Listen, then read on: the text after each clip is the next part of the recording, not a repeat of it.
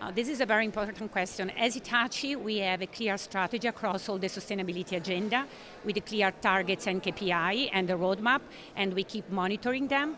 In addition to that, we have defined the double materiality to see the impact of our business and the impact on the society. And based on that, we define what are the key actions. In any case, what I do think that taking and accelerating actions is important, but it's more important to plan it because we need to make sure that those actions are sustainable, because those actions should meet the needs of today, but should not uh, compromise the needs of the future generation.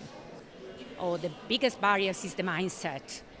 Uh, we should uh, change the way of do business, we should change the way of conventional thinking and moving more towards uh, an holistic view, a systemic view that will help a lot, especially to create innovation.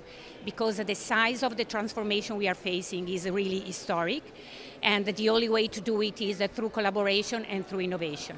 And in Hitachi what we are doing is to leverage all the capabilities that we have in the company.